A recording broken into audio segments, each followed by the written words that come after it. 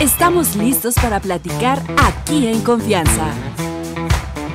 Iniciamos.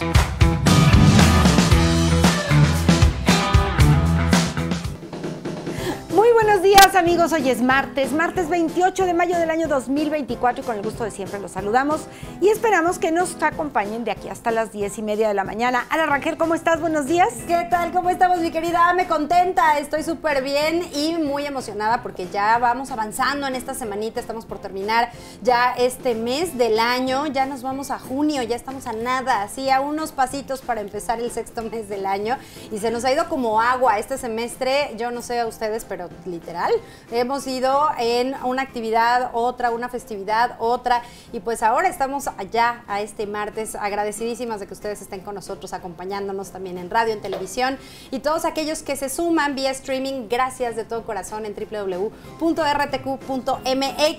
Sigan mandándonos mensaje para saber desde dónde nos están viendo, porque de verdad que es maravilloso saber que llegamos a otras partes del mundo, que estamos en otros lados y que obviamente están sintonizándonos porque les agrada nuestra compañía y a nosotros nos agrada el que ustedes estén del otro lado de su pantalla. Gracias también a quienes nos siguen en nuestras redes sociales. Ahí estamos en Instagram, en Facebook y también en nuestros canales de YouTube. A mi querida Amelia Kobe la encuentran como en confianza con Amelia y una servidora como Ara Rangel Oficial. Estamos iniciando el día un poco más nublado de lo normal, un poco eh, fresco, pero creo que ya era necesario. Ame, ¿a ti qué tal te amaneció? Nublado, efectivamente, se me hizo raro porque normalmente eh, se ve un cielo despejado en Querétaro y ahora lo vimos como si tuviera una tapadera. Me, me, preocupaba si es contaminación o es clima. Parece que es un asunto climático, pero desde luego lo vamos a investigar a ver de qué se trata. Parece que a las 10 de la mañana ya se va a iluminar el cielo con el sol de Querétaro que siempre brilla y arde, pero a todo lo que da. La sugerencia de hoy, oigan, ¿no les ha pasado que están buscando alguna medicina y así como que quieren ver la fecha de caducidad y caducó hace como 8 o 10 años? Bueno, a mí sí me ha pasado. Y la sugerencia es, ¿qué tal si hoy reviso las medicinas que tengo en casa, reviso la caducidad de las medicinas? Y aquí agregaríamos las de las medicinas y las de la despensa, porque luego de repente ahí Aderezo para pastas. 1983. No, no ¿verdad? no. No, no existía. ¿Dónde lo dejabas? ¿Dónde, lo guardé? No, de repente sí se nos pasa. Sobre todo las medicinas, de verdad, es importantísimo ver la fecha de caducidad. Medicinas, productos lácteos, la crema, eh, los yogurts, todo lo que tiene fecha de caducidad, por favor, hay que echarle una revisadita. Además, no sé ustedes, pero el cajón de medicinas como que va aumentando cada vez más, así es que hacer una buena limpieza y lo que no sirve pues ya no va a servir el año que entra, menos aún. Esa es la sugerencia de este día 28 de mayo por supuesto hay efeméride, vamos con ella. Exactamente, Ame, y va relacionado con la salud porque al final del día hay que estar previniendo, hay que estar viendo qué pasa con nuestro cuerpo y en particular nosotras como mujeres tenemos este día. Hoy 28 de mayo estamos conmemorando el Día Internacional de la Salud para las Mujeres para poder saber qué es lo que está pasando en nuestro cuerpo y ver si en algún momento hay algo en particular que tengamos que irnos a revisar al médico, ir con algún especialista. Y sí, este efeméride va de eso, de poder concientizar a todas las personas, no nada más a las mujeres, sino a toda la familia para poder apoyar y ayudar a las mujeres. El objetivo es ese, para poder hacer frente a diversas enfermedades y también padecimientos que sufrimos las mujeres y que en muchos casos se pueden prevenir. En la sociedad actual, las mujeres y las niñas debemos estar protegidas, ya que representamos a la población más vulnerable en lo que a salud se refiere y por lo tanto nuestras necesidades deben ser prioritarias en cualquier país del mundo. Es por eso que se está celebrando, se está conmemorando este 28 de mayo el Día Internacional de la Salud para las Mujeres. Y como mujeres, pues también ayudarnos entre nosotras. Si estamos viendo que mi hermana, que mi mamá, que mi hija o que yo misma estoy teniendo alguna situación fuera de lo normal, ya nos conocemos, pues acudir con los especialistas, ir a hacernos ese chequeo básico, el check-up básico que normalmente cada año nos debemos de realizar en todos los sentidos para ver un escaneito, cómo estamos, todo bien, perfecto, a seguirle. Si hay algo que está fuera de rango, bueno, pues ir viendo qué, qué es lo que debemos de hacer para que nos podamos controlar, equilibrar y poder seguir en funcionamiento correcto en la vida. Esa es la efeméride del día de hoy, Ami. Fíjate que el día de ayer hubo una reunión donde varias mujeres jóvenes, alrededor de los 40 años, han padecido cáncer de mama y, bueno, entre otras cosas, en lo que todas coincidieron es lo detectamos a tiempo. De no haber sido porque se detectó a tiempo, no estaríamos aquí. ¿Y cuántas perdieron la batalla porque no vaya a ser que sí tenga? Pues mejor de una vez saber si sí tienes. Qué miedo porque que me digan que sí. Es cierto, todavía hay personas que tienen o tenemos cierta resistencia a los médicos y mejor como que me pongo yo de no, no, no, no es una bolita cualquiera. Por favor, mujeres, hay que checarnos porque la verdad es que en eso se nos puede ir la vida. Y el programa de hoy está interesante. Filtros mentales, dice José Luis, que habrá que revisarlos, así como el filtro de la lavadora. ¿Has sacado el filtro de la lavadora que tiene ahí lleno Sí. de... Así me lo ¿Cómo imaginé. estará nuestro filtro, Amelia? No, bueno, quienes tienen filtro. Buen punto. Hay personas que dicen, es que ya hablan sin filtro, o sea, escupen Lo lo que... Sí, no, no. Hay que ponernos filtro, pero nuestro filtro mental, ¿cómo está? ¿Está sucio? ¿Está limpio? ¿De qué están hechas las basuritas que filtramos como si fuera una coladera? Por otro lado, regularizar mi casa, esto es importantísimo. ¿De qué se trata? Eric Espinosa nos viene a platicar de este tema. Oscar Belmont, que es grafólogo, la grafología y la salud también estará en Viralízate. Abraham González, Eh, José Luis Almada viene a platicarnos del valor de la resistencia en la adversidad y Roberto Andere, Mamás Financieras, parte 2. Esto se va a poner bueno, así es que quédese con nosotros. Quiere llamarnos 442 238 5255. Si prefiere usted escribirnos Hágalo a través de nuestro WhatsApp 442-676-0392. Y vamos pues con la frase del día de hoy y les recordamos que todas las frases, todos los qué tal si hoy, todo lo que quieran colaborar con nosotros, bueno pues aquí estamos a su disposición. Alan Cohen dijo esta frase, este escritor estadounidense que a mí me pareció extraordinaria. Usar el dolor como una piedra en tu camino, no como una zona para acampar. ¿Qué le entiendo yo a esta frase? Que hay quien se hace adicto al dolor, entonces ya de aquí soy y ahí se acampa y puede ser un dolor físico, puede ser eh, depresión, puede ser esa zona de confort donde me está doliendo, pero pues no importa, aquí me quedo a acampar y aquí me quedo a vivir toda la vida. ¿Hay piedras en el camino? Sí, por supuesto que las hay, las puede usted brincar, patear, levantar, como usted quiera, pero no es, no es más que una piedra en el camino, no es para que se quede ahí apapachando la piedra y pues de aquí soy, no, yo soy de la alegría, yo creo que venimos a ser felices y a tratar de tener una vida tranquila y llena de paz y ojalá que lo logremos. José Luis Gómez está con nosotros, con él, comenzamos.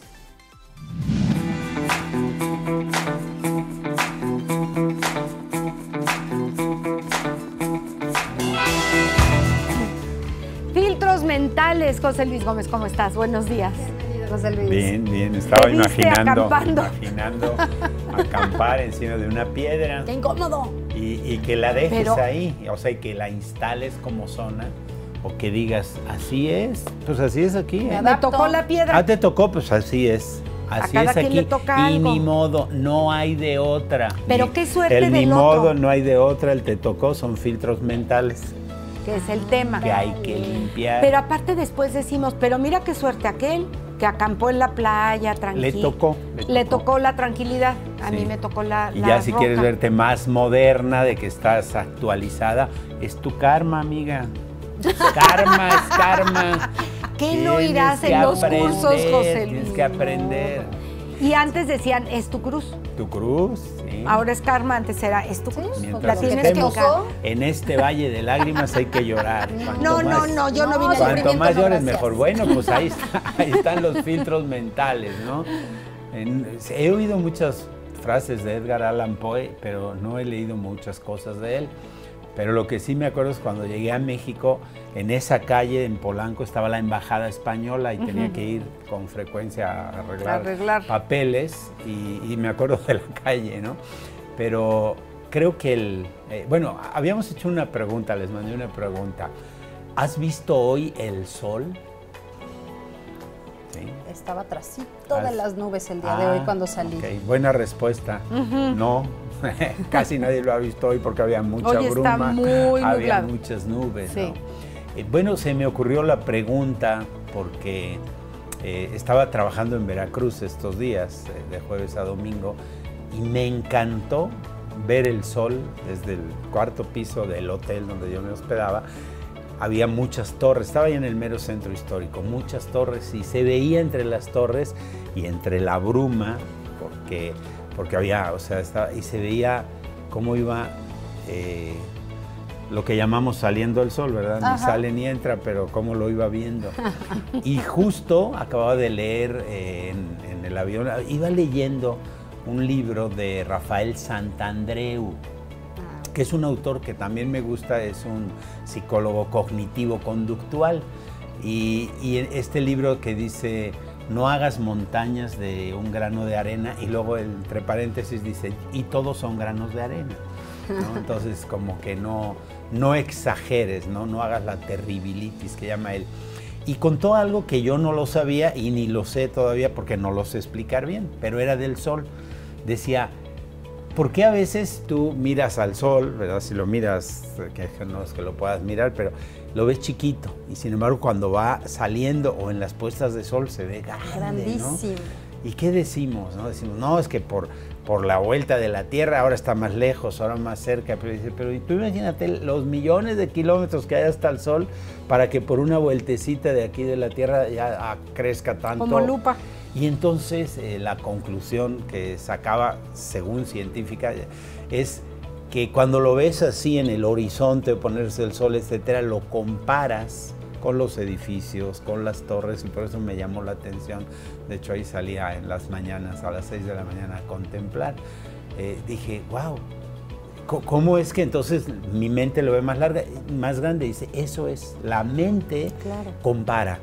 Entonces la mente dice, ah, es chiquito porque ves la cámara y, y ves a un ser humano al lado y te imaginas cuánto es, ¿no? Y me acordé de otra cosa, que era cuando estábamos, eh, cuando mi casa estaba en construcción, eh, que yo dije, esta habitación quedó pequeña, parecía que las dimensiones eran largas y me dijo el arquitecto, espere que tenga techo. ¿no?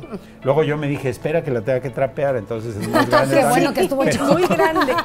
Pero espere que tenga techo. Y es que si tú ves esto, de- se ve de otra manera, se ve de otras dimensiones, se ve más chiquito porque no hay límite. Cuando ya ves un límite, ves otras dimensiones. Y todo eso lo hace automáticamente tu mente, mi mente, la mente de nosotros.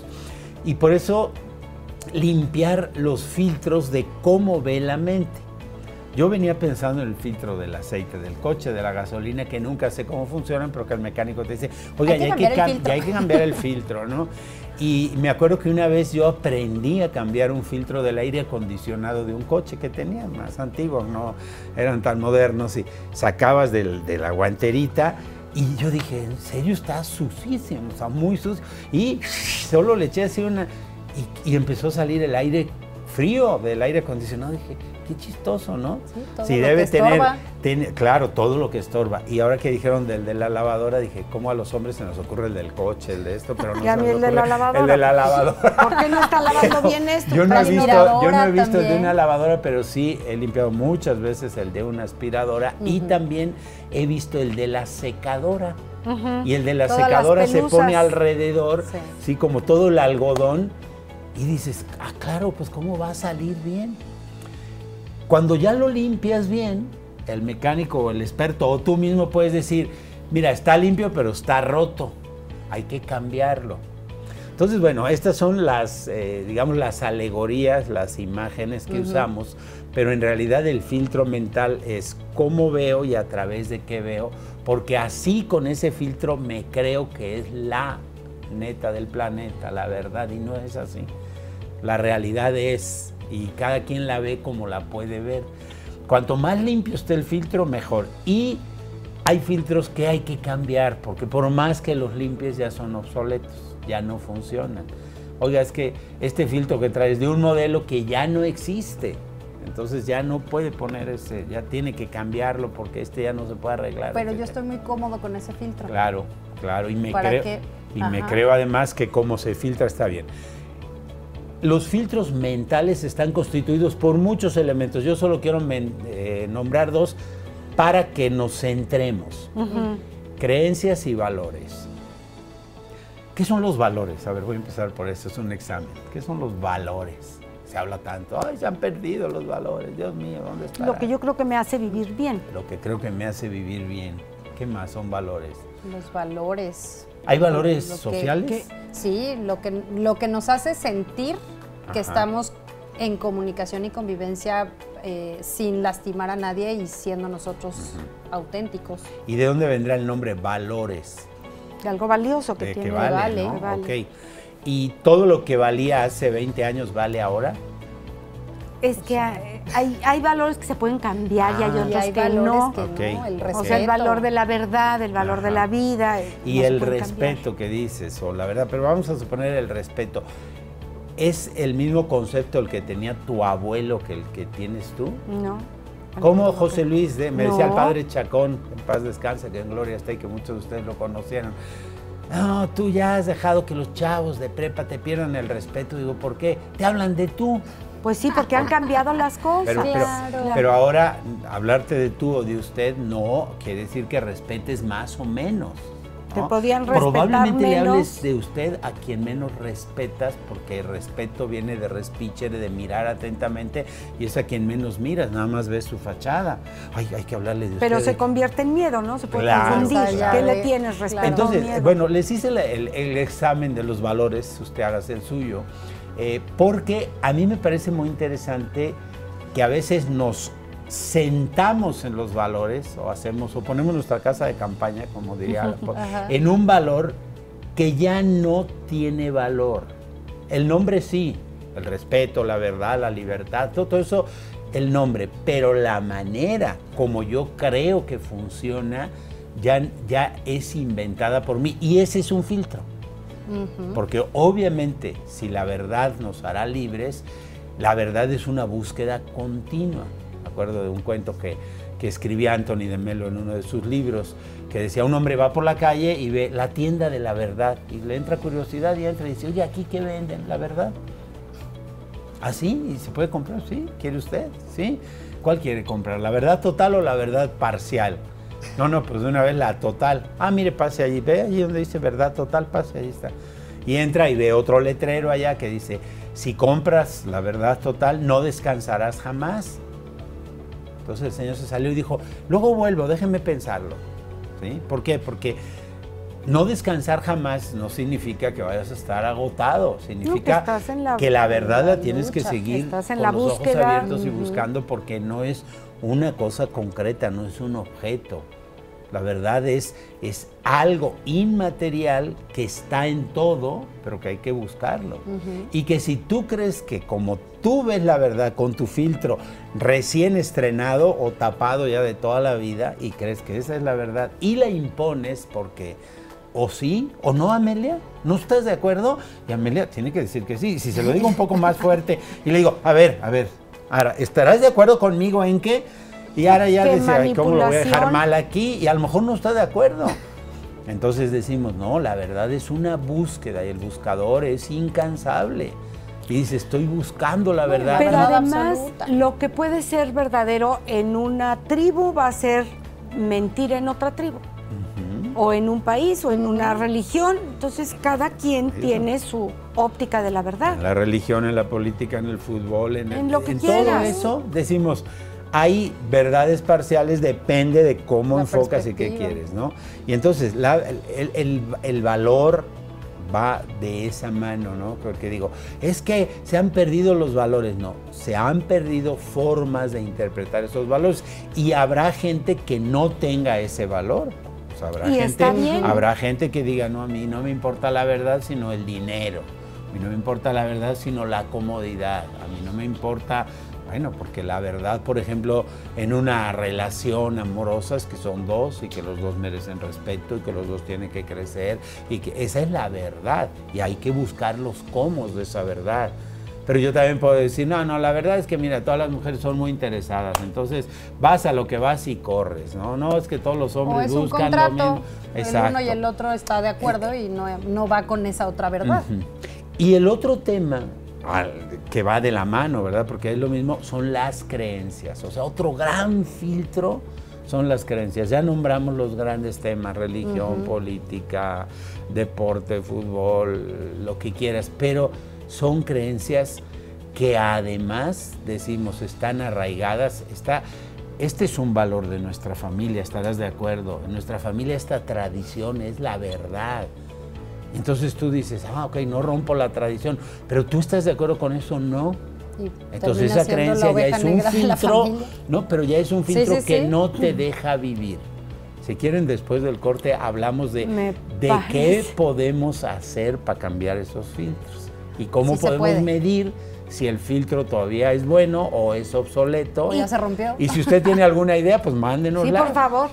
Y cómo vivir en armonía cuando el otro, ya sea mi hermano, mi pareja, mi hijo, cree diferente a mí. Claro. Tú le vas al, al América, aquí la mayoría son americanistas, y el otro le fue a quien jugó Cruz Azul. Cruz Azul. Entonces, bueno, van a decir, este es el bueno, y el otro va a decir, el otro es el bueno.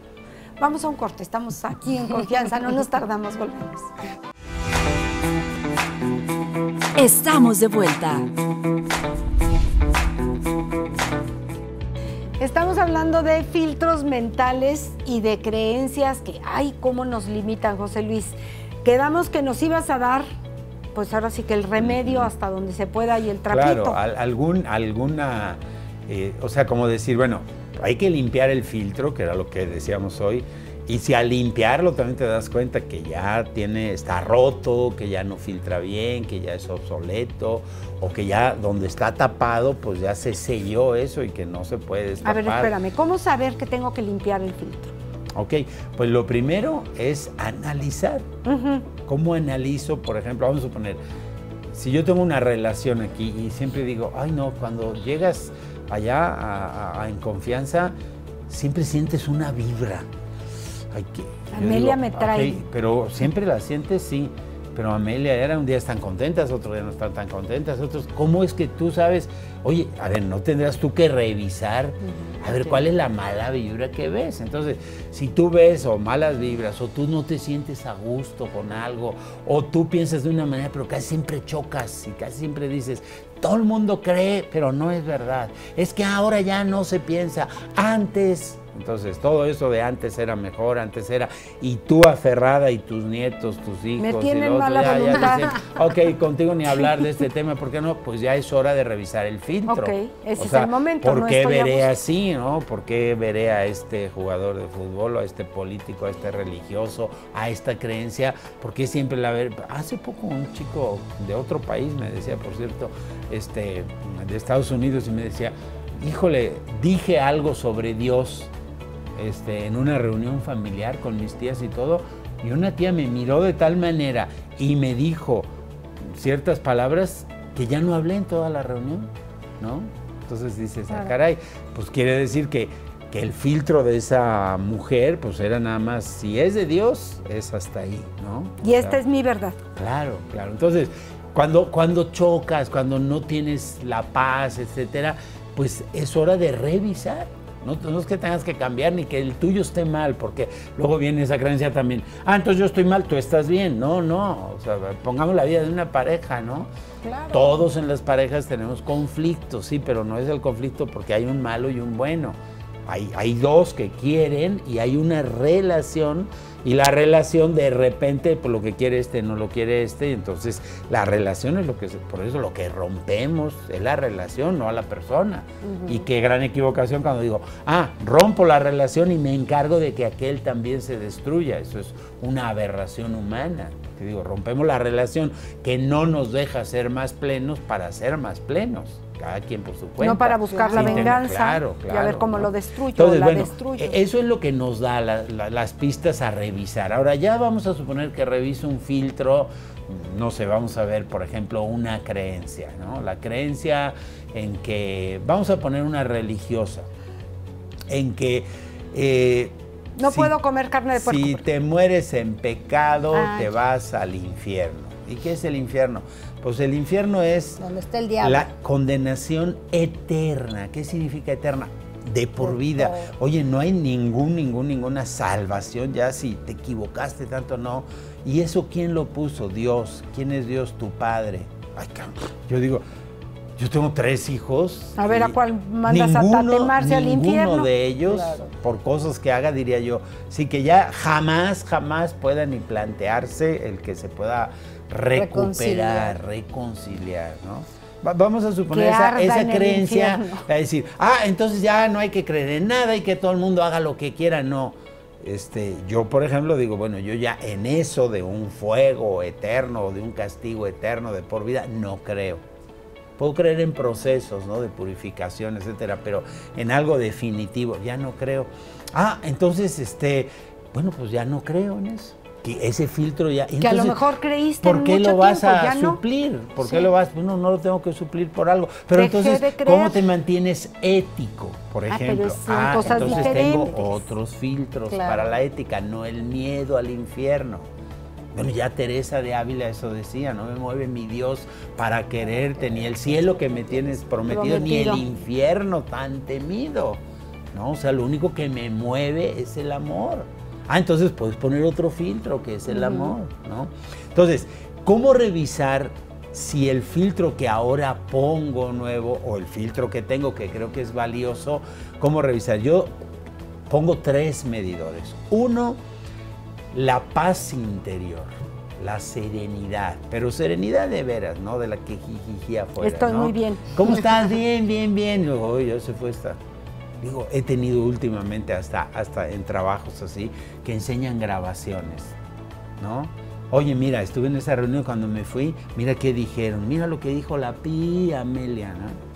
Y alguien lo grabó y Qué se lo fue a enseñar tristeza, a ¿no? Amelia. Sí. Entonces dices, oye, si estás en la reunión y no le puedes decir y le sonríes y en cuanto se va, Es la denigras, ¿eh? Bueno, entonces, uno es que tú digas, oye, esta manera de pensar, me por ejemplo, yo digo, si pienso desde el amor y me dicen, oye, José Luis, pues yo sí creo en el infierno y tú te vas a ir a él, digo, está bien, te respeto, muy bien. Pero me- tú sigues en tu pero- estado pero yo- de paz. Exacto, yo siento Claro. la paz, no digo, ay, estos amargados, no, no, yo tengo paz. Luego, el segundo medidor es el ambiente que genero.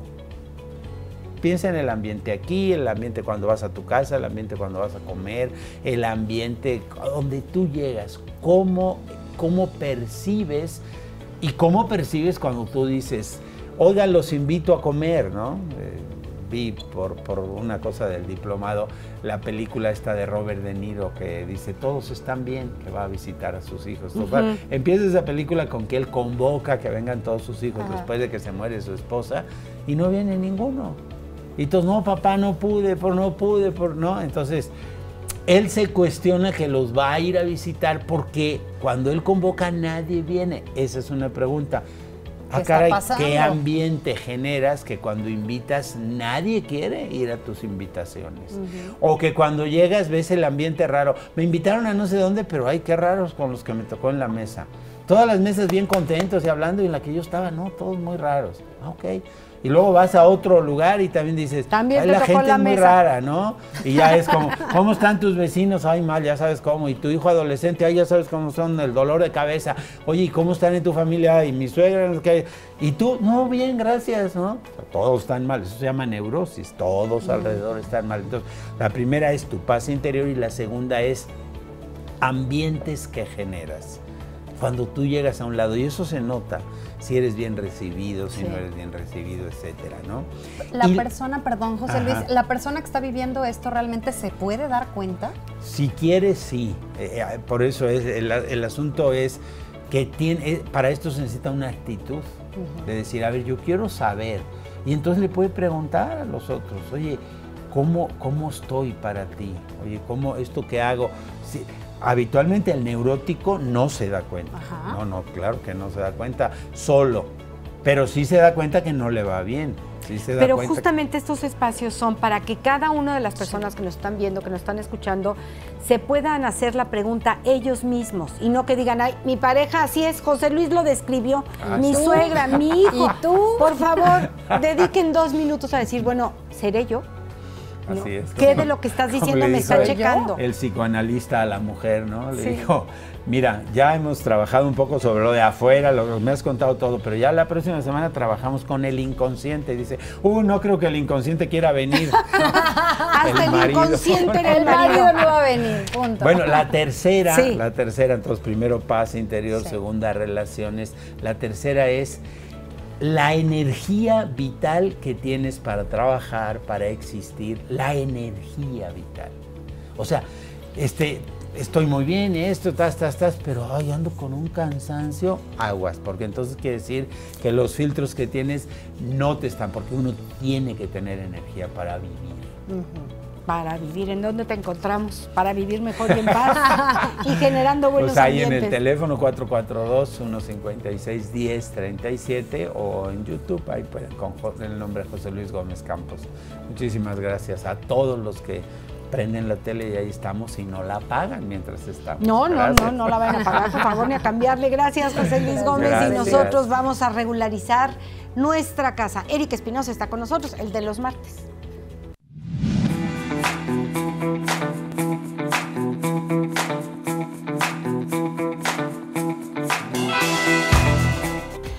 Qué tendríamos que regularizar nuestra casa? ¿Qué es lo que está irregular? Eric Espinosa, ¿cómo estás? Ameluchis, bien, ¿y tú? Muy bien, gracias. Qué gusto, qué gusto Bien, estar bien. con ustedes otra vez. Gracias. Como todos los martes. Como todos los Como martes, todos me da los risa martes. que le preguntan. ¿Es el de los martes? Sí. Es el de los martes, igual que José Luis, igual que muchos de nuestros invitados Así es. estrella. ¿Qué onda con las casas? ¿Por qué Ahí estarían va. irregulares? Fíjate que este quiero, quiero comentarte Sí. eh, dos cosas. La primera, si vamos a entrar al tema de lleno, pero traigo, ahora sí que traigo a la mano hasta mi teléfono porque el día de ayer me llamó la atención una nota periodística que seguramente muchos, muchos vieron porque era a nivel nacional. Y la nota decía, notarios legalizan 1.171 empresas fantasmas. 562 notarios dan fe de empresas fantasma. Ay, Dios. Y pues bueno, eh, lo, lo primero que, que llegó fue dolor a mi corazón porque, a ver, yo creo que las cosas no son precisamente como la nota lo refleja. Porque si me están diciendo que yo legalizo empresas fantasmas, estas que luego les llaman EFOS, empresas que facturan operaciones simuladas, las EFOS, luego les da por eh, jugar con, con, Con siglas. siglas.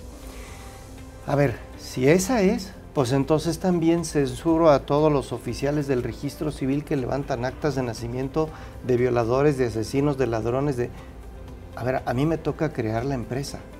Yo identifico a las personas, guardo sus documentos de identidad y constituyo la empresa. Si la empresa más adelante se dedica a hacer tarugadas, pues yo qué culpa tengo.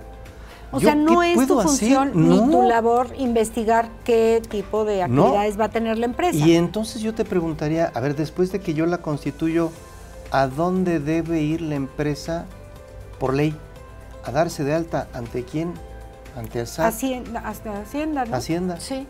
Y luego cuando realiza facturas y todo eso, ¿quién supervisa las facturas? Pues Hacienda. ¿Quién es el que trae el control de las facturas? Hacienda. O sea, ella es la que está al pendiente de que sus hijas creadas funcionen. ¿Yo qué culpa tengo de una empresa así? Porque entonces, pues mañana saquen otra que dicen, ah, y también muchos eh, dan fe de empresas súper exitosas, como pueden ser todas las que te quieras imaginar de gran talla. Yo creo que la nota no está bien encausada. Ahí sí me pegó en mi corazoncito porque nos está haciendo ver como que nosotros somos los, culp- los culpables de que las empresas realicen actos ilegales y no, actos ilícitos y no. Porque entonces tache para todos los papás que traen al mundo a hijos de estos que son hijos con J y, y bien J. Pues no, yo creo que no nos va por ahí. Entonces entendamos la nota periodística, pero bueno, ya me desfogué. Perdón, ¿Ya? pero lo traía bien adentro de mi Qué corazón. bueno que salió. Inhala, Y- exhala. Sí, sí, dijo, dijo José Luis. Estás en tu centro. Exacto. Ok. Spirituation aquí. Ok. Bueno, vámonos ahora, sí a regularizar tu Ahora casa. sí. ¿Por Ahora qué sí. la voy a regularizar? A ver, Meluchis, yo te pregunto. De la sesión anterior, bueno, de las últimas dos anteriores, estuvimos viendo lo que era la prescripción. Ujú. Ok. ¿Cuál era el elemento así básico, básico, básico para poder prescribir? ¿Qué deberías de tener tú? Cosa. Ok. ¿Y esa cosa qué Tiempo. debes tener?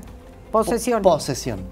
posesión. Sí, Sí, sí, Sí estudié. está atenta. No, sí sí, está claro. Atenta, sí, a cu- veces Cuando no. me quitan de la camarita, no crean que se va y se está con... No, No, no, está aquí atenta, está Sí, atenta. hasta estudio sí. mis notas.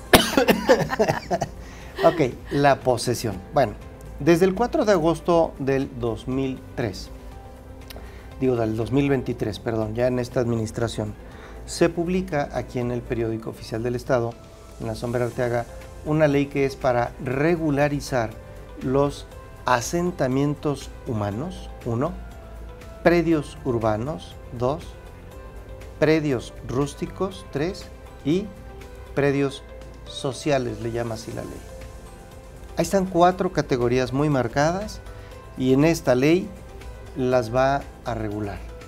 Y entonces creo que es importante que volteemos a ver lo que trae esta disposición porque muchos de nosotros tenemos en posesión una propiedad que no es nuestra y la quiero regularizar. ¿Cuántos, ¿Cuántos de nuestros habitantes más? Yo venía ahorita llegando aquí al estudio y no muy muy lejos, afuera de Palacio de la Corregidora, ¿cuántas veces no ves manifestaciones? Ujú, Entonces, un día sí, el otro también. Sí. Y, y reclaman y reclaman y reclaman y están pidiendo en muchas ocasiones que les regularicen, que les metan servicios, que les pongan en mil cosas. Bueno, esta ley para allá va. Una cosa es eh, regularizar, y otra, vamos a la nota periodística, una cosa es regularizar y otra cosa es voy a aceptar todas tus necedades, por ahí no voy. Una cosa es cuando nosotros vemos un artículo que luego nos encanta sacar a la luz, eh, que dicen, toda persona es, eh, eh, tiene derecho a una vivienda digna, artículo cuarto constitucional. Toda persona tiene derecho a una vivienda digna. Una cosa es que yo tenga derecho a, y otra cosa es, papá gobierno, regálame una casa. No, a ver, por ahí no voy. Por ahí no voy. Una cosa es yo tengo la posesión de un bien y otra cosa es, bueno, ¿qué tanto derecho tengo a ser dueño del mismo? ¿Me explico? Voy viendo de uno por uno de los puntos, a- haciendo alusión a lo que son asentamientos humanos, predios rústicos, predios urbanos y predios estos que Porque llaman puedo tener la sociales. posesión sin estar regularizado. sin estar regularizado dueño y además la dueña. puedes estar en posesión de Sí. algo que jamás te va a pertenecer. ¿Cómo jamás. ¿Por qué no me A pertenecería? ver, eh, te, te- te pongo ahorita, me adelanto mucho, pero te pongo dos casos clarísimos. Zonas verdes del municipio. Por más que yo llegué y puse Pues mi no, tiendita, no pues me la no. no. Eh, zonas comunes en los condominios. No. Claro. A ver, esas no, intocables, intocables. Ahora, tampoco está para fastidiar al ajeno, al prójimo. Y por eso, en asentamientos humanos, por ejemplo, ¿qué es un asentamiento humano? Eh, en palabras vulgares y silvestres, cuando cantidad de personas, un grupo de personas, se acentúan, se sientan, se, se, se ponen a vivir, ojo, estamos hablando de vivienda, no centros comerciales, O sea, llegan a un terreno, a Sí, un, a ajá. un terreno. ¿Por qué llegaron a un terreno? A ver, yo sí, yo sí llegué a ver personas que tenían grandes extensiones de tierra y que de buenas a primeras dijeron, te lo vendo, pero espérate, como no puedes comprar el total, te vendo un cachito y ahí haces tu casa. Y viene otro y te vende. Y entonces había gente que así sobre la rodilla, ¿por qué no? Hace un plano traza calles y dice, lotifico y te vendo, te vendo, te vendo, te vendo, te vendo. Y fue vendiendo. Y entonces, pues ahora resulta que tengo una población interesante en un terreno que no tiene servicios, porque no hay luz, porque no hay agua, porque no hay drenaje, porque no hay nada. Y son muchos de los que van a pedir servicios. Y luego son de los que incluso vemos manifestando. Ahora, Eric, la persona que vendió ese gran terreno en pedacitos, ¿era el dueño o podría ser que ni siquiera era el dueño? Pudo haber sido de las dos. De las dos, Pudo haber sido de las dos. Generalmente sí es el dueño. Generalmente sí es el dueño.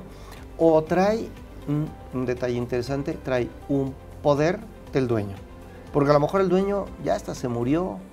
Y es el típico de, pues, te di un poder porque tú en su momento me lo pagaste y, y tú haces lo que tú quieras con la tierra. Y pues bueno, yo comencé a fraccionar sin permiso. Vendí sin permiso. Y según yo, ya quedó todo establecido. Y claro, este grupo de personas, ya cuando sienten la necesidad de los servicios, pues vienen y entonces dicen, oye, ayúdanos a regularizar esto. O exigen algo que no tendrían por qué. En muchas ocasiones finalmente. exigen, ¿Sí? que creo que no es Haciendo un correcto, es, que no. Échame la mano, ¿no? O sea, mira, ya, a ver, con todo respeto, a nadie nos gusta decir que fuimos timados, engañados o que nos vieron la cara de tontos. Sí, nos engañaron. Yo pensé que esto estaba en regla, yo no soy conocedor de la materia, compré un pedacito, tengo mi casa, vivo con mi gente, ¿y ahora qué hago, no?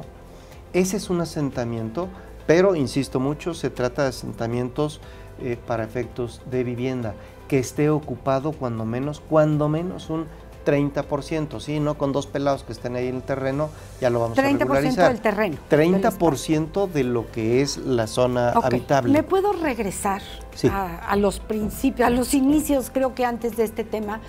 ¿Quiénes son los paracaidistas y qué derechos tienen y qué pueden exigir y qué no? A ver, sí, qué, qué bueno que lo preguntas. Y esto va muy ligado con, la- con el tema de los ejidos. A ver, yo tenía un predio muy grande dentro de los límites constitucionales. Acuérdense que la Constitución, dentro del artículo 27, no soy codiguero, ¿eh? pero esto es por, o sea, Sí. esto es naturaleza de, de la escuela.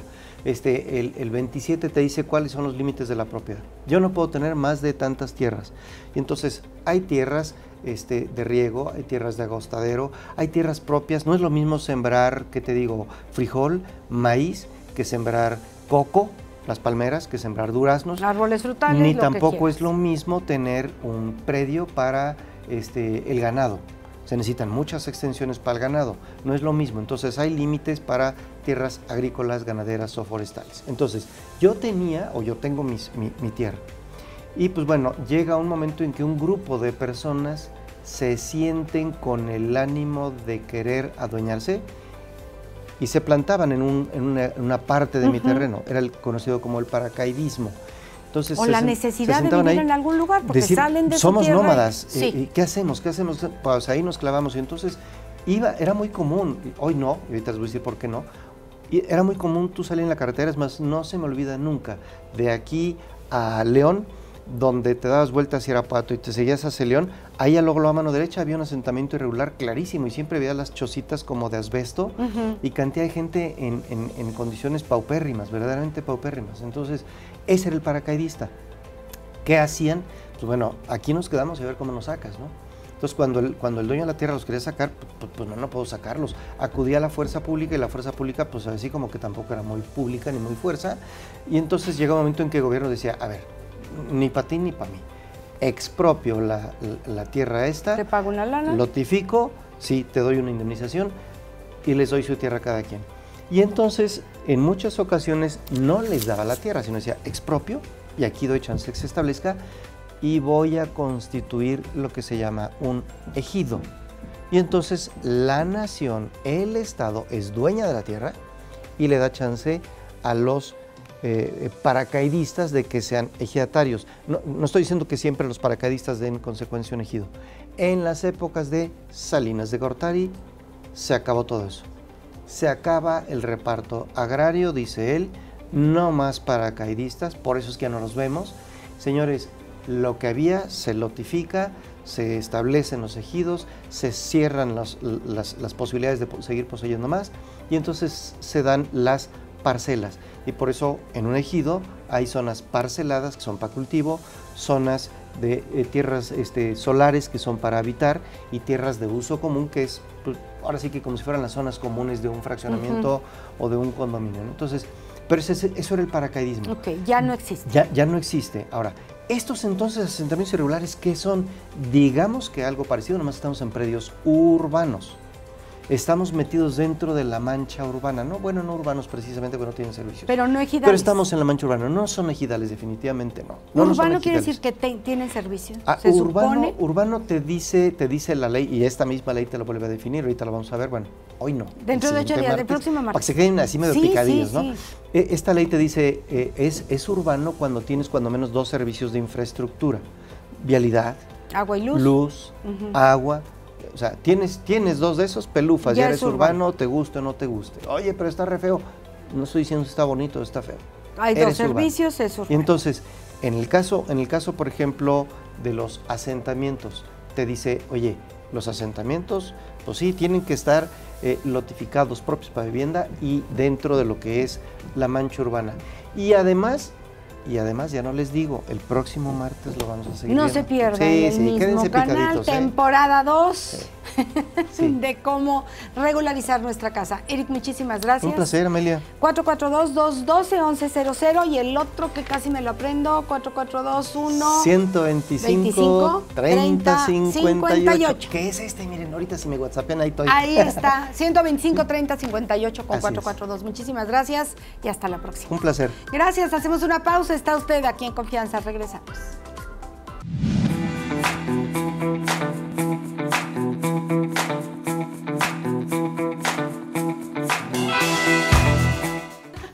Nunca me pongo más nerviosa al escribir que cuando está Oscar Belmont con nosotros, que a ver, haz una W, vamos a ver eh, la grafología y la salud, ya tenemos la W ahí plasmada en el pizarrón. ¿Cómo estás, Oscar Belmont? Efectivamente. Bienvenido. Amelia, ¿Verdad que nos pone nerviosos? Ay, me estoy sudando. Mira, si no estaba enferma, ya me voy a enfermar ahorita.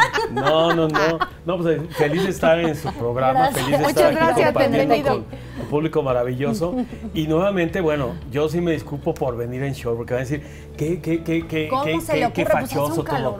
Hace un calor tremendo y yo creo que ya se debería este, Implementar. institucionalizar esto. Cambiar la corbata y el traje. Mira, No tiene nada sobre que todo, ver pasando de 32 grados centígrados, o sea, yo Y me te acuerdo ves que muy bien, no es que vengas fachoso. tú Es ves que en mire, los hoteles, pues Sí. para personas de La- sí. ¿sí? Hasta los que trabajan en Claro, los hoteles. los que sí, trabajan, sí. Dependiendo. Incluso hasta gerentes. ¿Saben qué? Que yo les voy a decir, aquí con las luces hemos llegado a estar a 38 grados.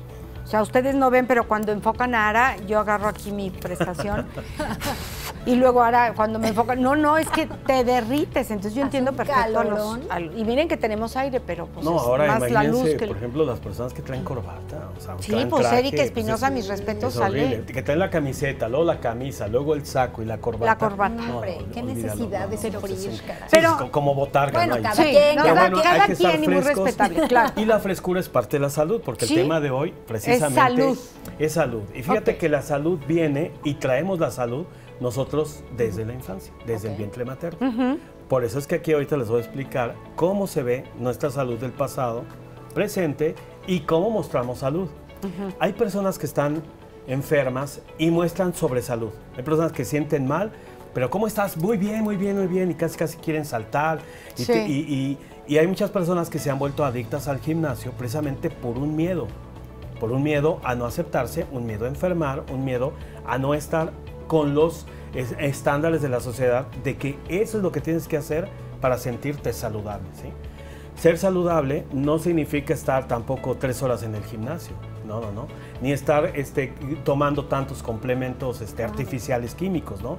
O sea, eh, no sé si han visto en las redes sociales el, el ¿cómo se llama? Eh, El albañil, le dicen trabado. Ajá. Hay dos o tres albañiles que así muestran sus rutinas, su alimentación, cómo es y todo, y están súper marcados, ¿no? O sea, ese es el ejemplo de que efectivamente vivimos de un engaño con respecto a la salud, con respecto a, a- a estándares de que eso es lo que tienes que comer, eso es lo que debes de No tomar para extremos, sentirte ¿no? bien. Exactamente, yo creo que todo lleva un punto de equilibrio. Simplemente nada más vean, por ejemplo, cuántos complementos vitamínicos hay. Entonces todo el tiempo te están vendiendo, por supuesto que todo lo que comemos tiene un bajo contenido nutricional. Hay que complementar Incluso de ya manera. la- la- la- las verduras y las frutas ya no son como antes, ya, ya no son tan nu- nutrientes como, como, como lo eran, ¿no? Entonces que hay, que hay que complementar, pero hay que saber exactamente qué necesita cada uno de tu cuerpo. A ti te dicen, es que tú determinada edad ya tienes que tomar este, Te vitamina, calcio, te falta calcio, necesitas tu omega y no sé qué. Todo eso es bueno, pero primero analiza tu cuerpo. Primero tienes que ver si tu cuerpo lo necesita. No toda la gente necesita ni la misma dosis de agua, ni la, ni la, la mi- el- la misma cantidad de carne, ni la misma cantidad de verdura. Cada cuerpo es diferente. Entonces, lo primero que hay que hacer es conocerse. Ahora, nuestro origen de salud viene en el vientre materno. O sea, nosotros, ¿qué nos alimentó durante ocho meses? No, pues, bueno, La a, mamá. perdón, a mí ocho meses. A la mayoría de las personas, Nueve. nueve. meses, sí, Sí. sí. Ay, hay siete Entonces, sí. también. Sí, ¿verdad? Sí, Sí, bueno. Yo, ah, yo ocho meses. Pero en esos meses, prácticamente, nosotros vivimos de lo que come nuestra mamá, ¿sí? Claro. con transformar los nutrientes y de ahí viene una salud de origen, una salud del vientre materno, que puede ser buena o mala. Entonces, y luego esa salud determina nuestra infancia, nuestro desarrollo en la adolescencia, en la pubertad. Y ya nosotros, ya cuando crecemos, estamos un poco más conscientes, pues entonces a lo mejor podemos tomar la decisión de tomar una- un buen camino para mi salud o tomar un mal camino. ¿sí? Entonces, ¿por qué es tan importante? Fíjense nada más, si ahorita yo les muestro aquí, vamos a ver algo, algo importante ahorita. Aquí me pusieron dos M's. No W, mencionaré W, quiénes son. Ay, sí, W. no. Dos Ws mayúsculas sí. están apareciendo en el pizarrón para nuestros amigos de radio. Están escritas dos Ws. Una W mayúscula que escribí yo y otra que escribió Amelia. Perfecto. ¿Qué es esto? M, Exactamente. Entonces, aquí vemos. si volteamos el pizarrón, la. W se vuelve M. Exactamente. Vemos que es una M. Ajá. Pero la salud la medimos con la W. Ajá. Entonces, este. pasa? pongan Si quieres te la, la camarita. Eh, nada más. ¿Está Aquí, aquí, aquí lo pongo. Va, va, va. Fíjense nada más. Bueno, lo voy a poner. Con, ah, bueno, esta me queda más cerca. Entonces, este, este rango, este, este me, me determina cómo es mi salud. O sea, esta parte de acá arriba, cómo es mi salud en la infancia. En tu caso, esta es tuya, ¿va? ¿No? Esta de el- acá es Esa es de. Ara. Entonces, en tu caso, tú tuviste buena salud Ok. de infancia, Ajá. pero ahorita no tienes buena salud. O sea, Ajá. es tu cerebro que no está determinando, no está marcando buena salud. Y aquí es la salud que estás mostrando. Entonces significa que tú tenías más salud antes y muestras más salud que la salud que tienes. Igual tú, Ok. amigo. ¿sí? Entonces, si nosotros, por ejemplo, ahorita vemos y si alguien por ahí puede, puede mostrar, este, nos vamos a dar cuenta, no significa que estén enfermos o le va a pasar algo. Significa que es como tu cerebro y tu inconsciente te está, se está sintiendo. Y la buena o la mala salud, a veces tú dices, oye Oscar, pero pues yo me hice análisis y yo estoy bien y todo. Sí. Hay veces que la salud, no- nuestra mente la registra con respecto a nuestro agotamiento, cansancio y fatiga. Entonces, por ejemplo, si tú te sientes cansado, que ahorita pues es un factor, Sí. porque yo te aseguro que si ustedes ven en sus apuntes otra, do- otra W, no la tienen así. Véanla, la van a ver y van a decir, tenía razón Oscar. Entonces, si tú la, la checas ahí, no la vas a ver tan, tan, tan, tan bajita. La M no te sirve, ¿verdad? Sí, bueno, puede servir. Ahí está la, la M. Es que la M sí me salió parejita. tres. Exactamente. Ahí es donde te das cuenta. ¿Por qué? Porque en este momento es como Los te sientes piquitos. aquí. Ajá. Como te sientes aquí, a lo mejor ahorita te cansaste ayer, hiciste mucho ejercicio, te desvelaste, ah, tuviste un problema o una situación y hoy no te sientes completamente bien, no te sientes tu cuerpo 100. saludable, exactamente. Y entonces aquí determina. Más o menos, este, eh, eh, Ara estará más o menos como en un 7 en salud y, y Amelia como en un 6.5. Como un 6. Sí. Sí. Entonces, ¿qué significa? Que esto es, es, este, mira, una buena salud, una muestra de una buena salud, ya estás hablando de 8, o sea, es una súper buena salud. Esto ¿sí? tendría que ser en tema grafológico, que tuviera la parte de en medio de la W hasta arriba, digámoslo así, para que se viera que realmente estás con salud. Exactamente. Nosotros, por ejemplo, podemos ver en gimnasios este, los logotipos, que muchos de estos se, se extienden hasta por acá. O sea, la última, para que dicen, tú muestras una salud impresionante y un poder. Hay varios gimnasios que ahí he visto El que tienen así, ese último. rasgo de aquí, súper alto, ¿sí? el esto último rasgo de la W muy está arriba. disfrazando una realidad. O sea, vas ahí a ese gimnasio y te vas a sentir súper bien. vas a aparentar más bien, porque Sí. esto es apariencia. ¿No Esta es, la el- realidad. la proyección a futuro que No. había entendido? No. Es, Ok. es- es como tú aparentas. Tu verdadera salud está aquí. Ya. Y esta salud va a La determinar tu futuro, pero a través de, de tu buena salud hoy. Ok. Hay personas que tuvieron muy mala salud, vamos a pensar que está así, y hoy tienen buena salud. Ok. Entonces dicen, yo traía muy mala salud de niño, pero pues crecí, ya me alimentaron, me dieron... A ver, Oscar, ¿qué tanto tiene que ver? Porque yo ahorita me trataba de imaginar a un maestro, si hago la W así como la que borraste ahorita, con el primer, el trazo hacia abajo muy cortito, pues me hubiera dicho, esto no es, Está mal hecho. 10 veces o cinco planas con la W bien hecha. ¿Qué tanto Sí, es no, como te enseñaron? Es más, a ti te le enseñan así. Es que esto aparte yo chico. escribo- Sin embargo, o sea, Sí. eh, eh, en términos reales, la escuela nos enseña, o sea, la mayoría de las letras que nos enseña la escuela está mal.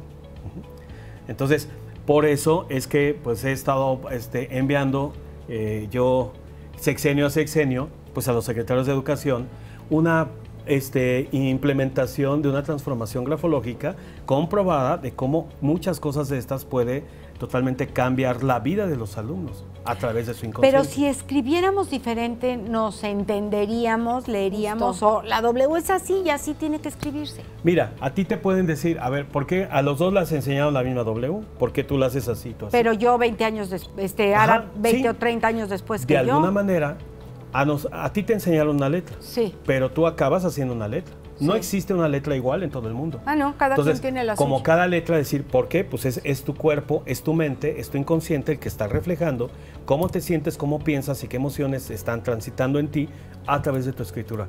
Recordemos que escribimos nosotros con el cerebro y no con la mano. Entonces nuestro cerebro es el que eh, eh, este, envía esta información.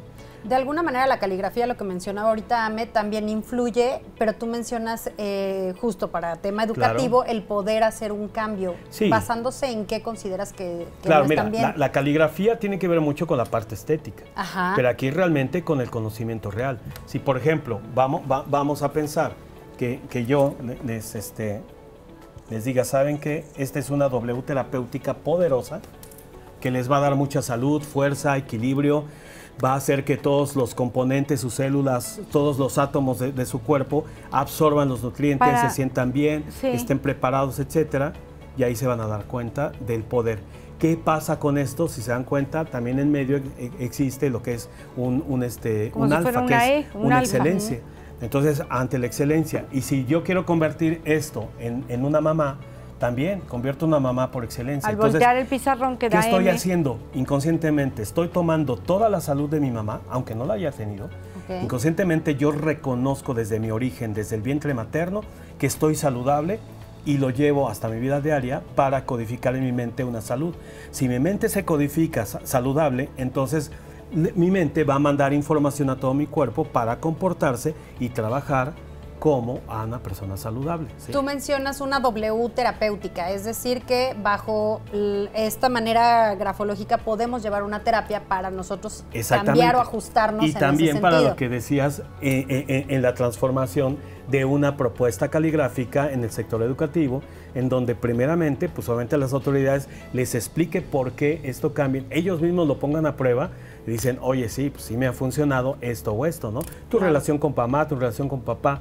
Eh, en la educación siempre se ve primero el ser, después el saber y después el saber hacer.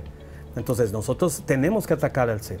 Es imposible. Eh, eh, este, ¿Cómo es posible que un niño vaya a estudiar, un niño vaya a aprender, pues si ni siquiera ha desayunado? Sí.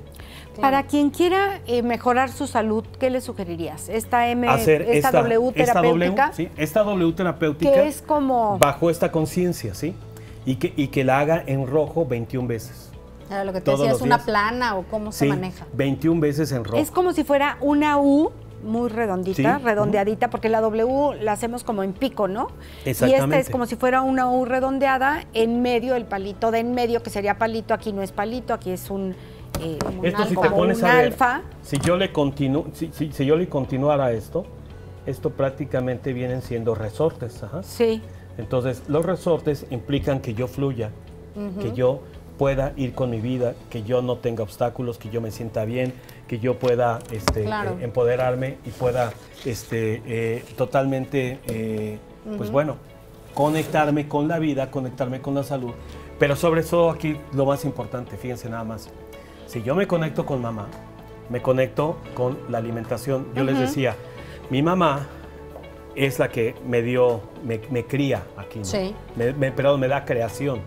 Después me, me da de comer, entonces viene la cría, o sea, la me crianza. crea, me cría. Me cría. Y después, ya cuando, cuando ya no, no, no, no te da este, eh, eh, leche mamá, entonces ella con todo el amor del mundo te prepara los alimentos. Por eso es que la salud viene precisamente del amor de la mamá al preparar los alimentos a los hijos. Yo pongo mucho la M de McDonald's, que es el sustituto de mamá, ¿sí? Entonces dicen, aquí está mamá que te va a apapachar porque tu mamá no quiere cocinar, pero aquí es el, el sinónimo, por eso es el éxito de McDonald's. O sea, O sea, inconscientemente... es un M, una M Sí. redondeadita, totalmente Tanto la mamá como los hijos Sí. realmente lo que están buscando es el apapacho materno. Fíjate cómo en cuanto a mercadotecnia Sí, utilizan claro. estos signos, esta grafología, para hacer que nuestro inconsciente diga voy ahí porque Claro. ahí está el apapacho. Hoy en día está Aunque reconocido sepa, que no son sé si sabe rico o feo, pero ahí sí, está el exactamente, las hamburguesas más vendidas del mundo y las hamburguesas más feas de todo el mundo. Estoy de acuerdo. dices, Estoy de ¿por acuerdo qué? contigo, perdón. Los ¿Pero niños no opinan lo Sí. mismo. Y los niños realmente ni Van y comen. buscan. Lo- Los, niños realmente ni comen la hamburguesa, realmente No, lo que a quieren jugar. es el juguetito. Y Entonces, o van, van por el juguete, ese es el marketing, pero realmente se sienten en casa. Dicen, voy con mi mamá a McDonald's. Entonces, esta fuerza este, inconsciente que llega a través de, de- de- de- de- de la grafología, Ajá. obviamente llega a la publicidad, al marketing, a la tipografía, al diseño gráfico, a los ámbitos políticos, académicos, terapéuticos, jurídicos y demás. Bueno, porque no los utilizamos a favor.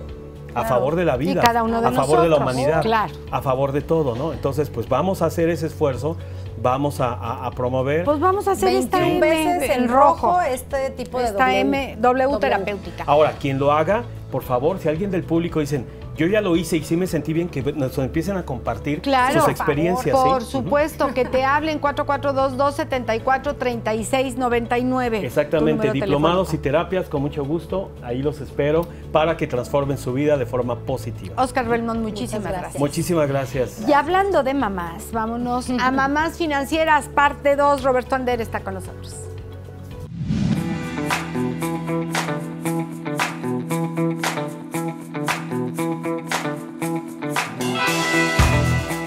Mamás financieras, parte 2. Vamos a ver en qué nos quedamos. Roberto, bienvenido. Roberto Andere.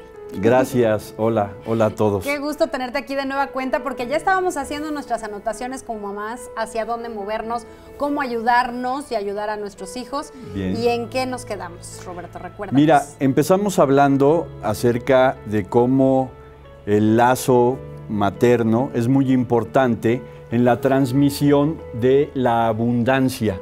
Sí. Como mamá me enseña, ahorita Sí, la- justo lo que el- decía el Oscar, comentario en otro anterior, sentido, pero sí. Claro, cómo el alimento ¿no? se transmite y entonces hay toda esta transmisión este, genética y de amor y todo Sí. esto.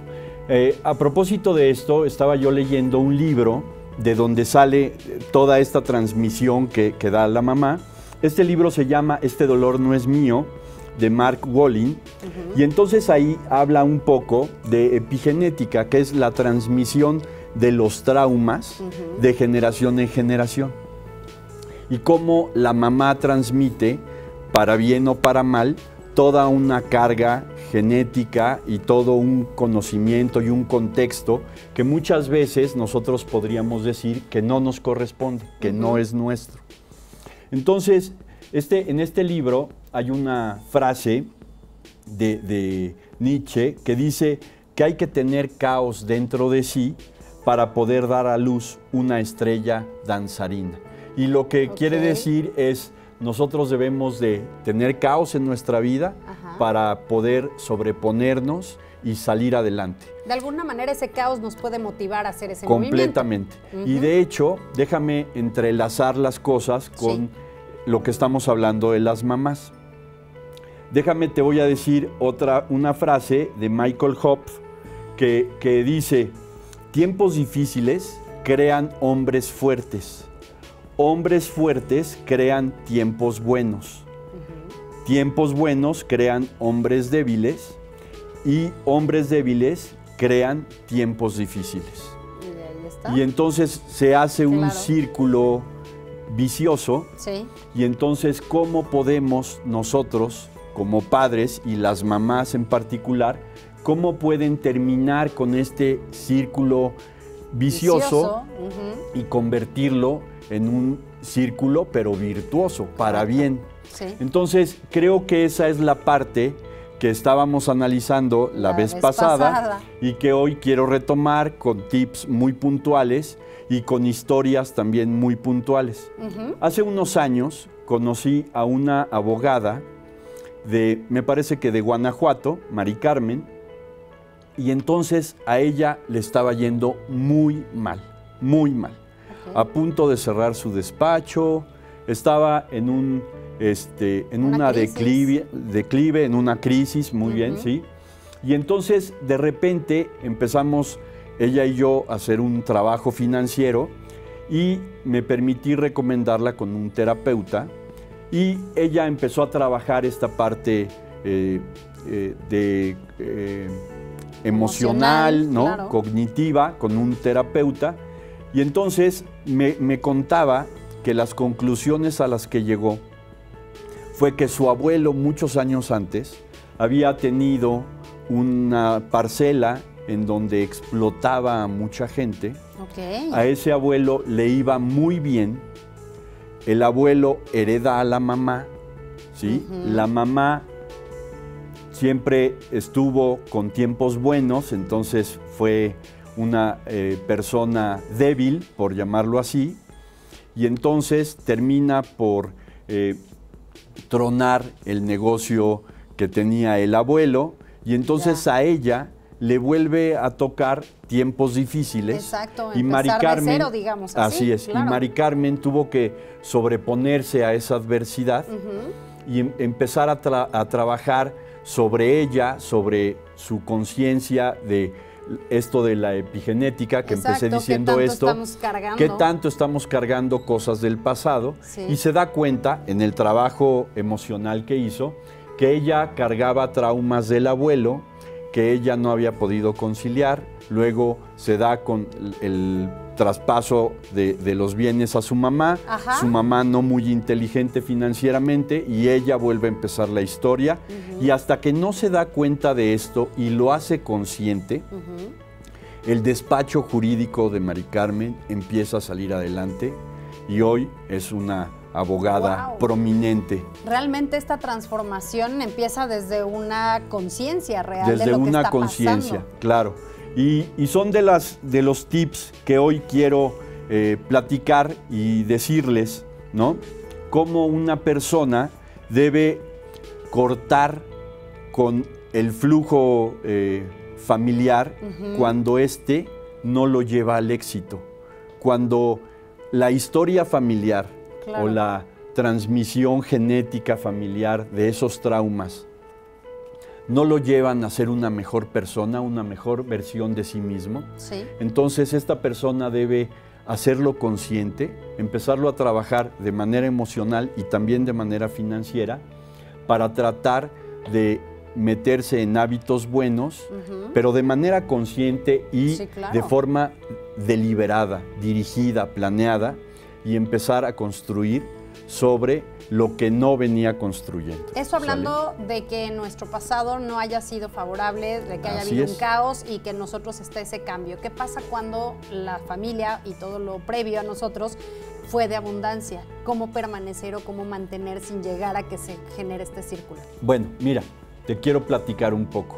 Yo creo que todo lo que eh, venimos cargando y nos van transmitiendo se habla de abundancia.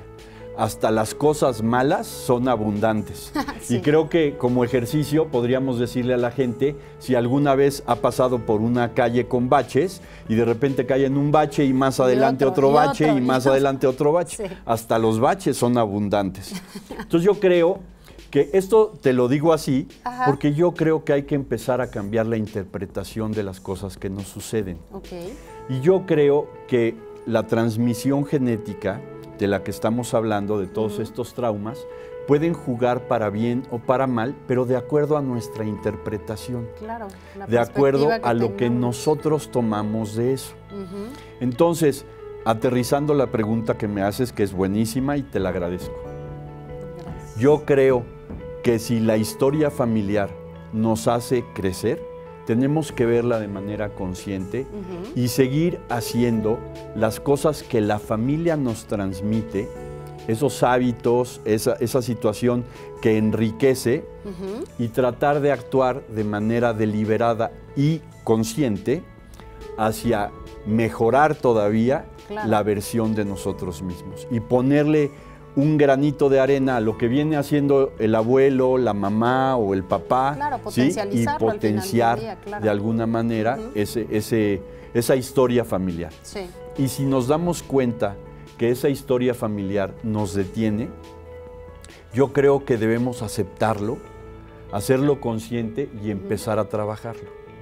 ¿Sí? Creo que es una de las cosas que, que podemos empezar a hacer. Me encanta el que tengamos que hacerlo de la mano con un tema emocional, porque creo que de ahí vienen también todos los bloqueos para abundancia en general, no nada más en tema financiero. Completamente. De los tips que nos mencionas, Roberto, cuéntame. Mira, vamos a empezar a ver algunos tips. Creo que el primero que yo quisiera transmitirle, sobre todo a las mamás financieras de las Ajá. que estamos hablando, es creo que debemos aprender a decretar un sí en nuestro corazón respecto de nuestros hijos y decirles a nuestros hijos lo amados y lo deseados que son. Y en este sentido, empezar a construir personas emocionalmente fuertes claro. y también financieramente fuertes. Hay, una, hay un gran vínculo entre lo emocional y lo financiero. Y lo hemos platicado Sí. muchas veces, ¿no? Sí, sí, que cuando no estamos bien emocionalmente, salimos y qué me compro, ¿no? Y cómo podemos Buscamos la sustituir manera, exacto, de tapar esos un hoyos tema emocionales. emocional con un tema financiero y yo me lo puedo comprar y así. Exactamente. Roberto, vamos a ir rápidamente a un corte, pero regresamos con todos estos tips que nos estás dando, porque al final del día creo que como mamás tenemos esa responsabilidad también de darles estas herramientas a nuestros hijos y sumar las herramientas para nosotras mismas. Vamos y venimos, estamos hablando de mamás financieras aquí en Confianza. Estamos de vuelta. Mamás financieras es el tema con el que estamos y regresamos aquí con Roberto Andere. Ya nos está dando tips para que nos sumemos como mamás financieras en positivo, para que, crear estos vínculos con nuestros hijos, para el tema financiero también, en tema emocional. ¿Cómo Claro. estás, eh, Roberto? Estábamos en el primer punto ¿Sí? y cuéntanos, recu- recuperemos un poquito esta información. Sí, fíjate, decíamos cómo decretar un sí en nuestro corazón Sí. para enseñarles a nuestros hijos que todo es abundancia y que ellos aprendan a reflexionar y a tomar lo bueno de las cosas. Qué, qué maravilloso es que ante una situación nos quedemos solo con lo bueno y lo hagamos consciente y dirijamos de manera deliberada nuestras acciones para construir sobre las cosas. Y si algo no es tan bueno, es medianamente adverso o muy adverso, pues bueno, saber cómo podemos aceptarlo, retomarlo y convertirlo en algo bueno, ¿no? Ese sería el primer tip del que veníamos hablando. Perfecto. El segundo es enseñar a nuestros hijos a trabajar sobre las consecuencias y no sobre las culpas. Hay un, hay un libro que me encanta de Freddy Kaufman que se llama La empresa consciente. Él tiene muchos libros, pero, pero tiene eh, dos libros que a mí me gustaron mucho. Uno es La revolución del sentido y el otro es La empresa consciente. Y toma él todo este sentido de vida y habla sobre la diferencia entre culpabilidad y responsabilidad. Y entonces dice, culpabilidad es la habilidad de repartir culpas. Sí, y no entonces ahí se actúa desde ser víctima Sí. y tomar en cuenta que lo que nos está pasando es culpa de nuestros padres, de nuestros ancestros. Y la responsabilidad, él dice, es la responsabilidad, la habilidad de responder a las cosas. Asumir que sí es cosa asumir que es tuyo Sí, claro. y que tú tienes en las manos la forma de responder y de salir avante en una situación adversa. Entonces, él lo que plantea en estos dos libros es qué papel quieres jugar. ¿El papel de víctima Sí. o el papel de protagonista de tu historia? Entonces, para con nuestros hijos, yo lo que recomiendo es que las mamás, sobre todo, puedan ayudar a los hijos A a tomar este acto de responsabilidad, conociendo las consecuencias y no haciendo sentir culpable a los hijos. Eso es para mí uno de los elementos más importantes que puede tener una mamá para con sus hijos. ¿sí? Correcto, no querer salvar la vida en todos sentidos, porque al ratito pues ya fue culpa de mi mamá que no me salvó bien o Es- que me salvó. Oye, es muy bueno esto que dices, porque mira, cuando nosotros utilizamos este lenguaje de salvar a nuestros hijos, lo que estamos haciendo es ponerles un tiempo fácil, un tiempo bueno. Y entonces, ante esto, Los lo que estamos haciendo es hacerlos débiles. Claro.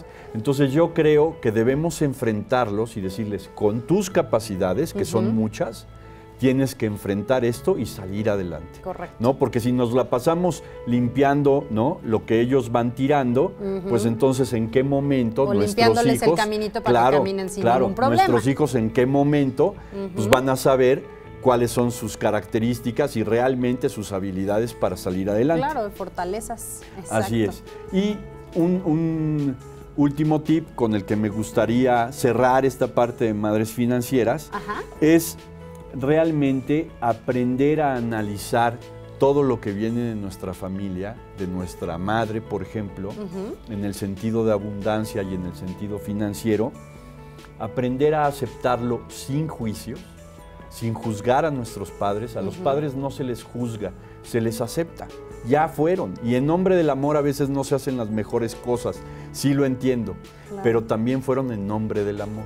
Entonces, de alguna forma, aceptarlo y empezar a construir de manera deliberada sobre lo que venimos nosotros cargando y definir qué es nuestro y qué no nos corresponde. Correcto, pues al final del día creo que se engloba en la responsabilidad de cada individuo, sea mamá, sea hijo, pero pues al ser madre, darles estas herramientas para que sean ellos los que sean los protagonistas de todo, sus emociones y el tema financiero. Roberto, ¿en dónde te pueden encontrar? Pues en roberto.andere.orfin.mx, si me mandan un correo, o a mi WhatsApp, de, que es el 55 91 45 91 50. Excelente, Roberto Andere, muchísimas gracias por esta Gracias información. Ya cerramos este tema. Ya veremos en tu siguiente participación cuando vengas con nosotros qué más podemos aprender de finanzas. Y es momento de filosofar, de pensar, de, de estar locos como normalmente nos llegamos a decir entre nosotros. Y ya está aquí José Luis Almada como músico, poeta y loco. Vamos con él.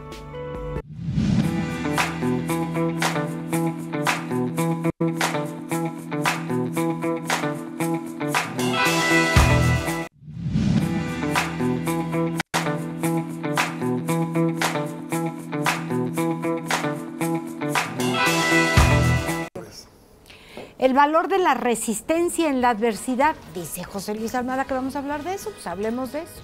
¿Eso dijo? Eso dijiste tú, lo tengo por escrito. ¿En serio? Aquí está mismo. El valor de la resistencia en la adversidad. Me estás vacilando. ¿Qué onda con este tema? Es que se necesita tener un buen humor también para abarcar tanta cosa rara que dije ahí. Que, a ver, primero dices, luego te desdices. ¿o El cómo? asunto es- A ver, viene. ¿Qué es la resistencia? Sí. Como que no quieres algo porque te está incomodando. Como que metes freno de mano. Me resisto a un cambio, me resisto a un abuso, me resisto a algo Me que no resisto sé a sufrir. hacer, Me resisto a sufrir. Es decir, hago todo lo posible por no sufrir.